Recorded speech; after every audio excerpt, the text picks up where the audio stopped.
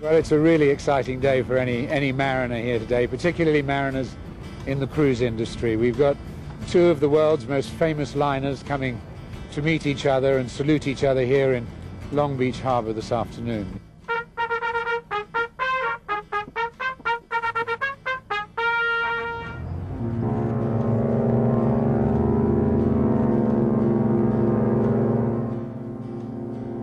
You've got uh, Queen Mary, of course, its uh, home port has been Long Beach for several years now.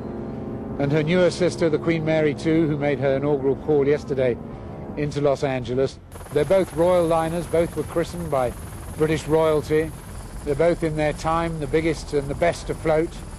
But Queen uh, Mary II here today is uh, fitted with every luxury and amenity you could possibly expect to find in the most luxurious hotels in the world.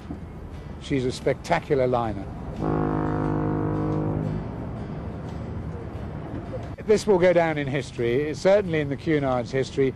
You will never see two such spectacular craft in one place again.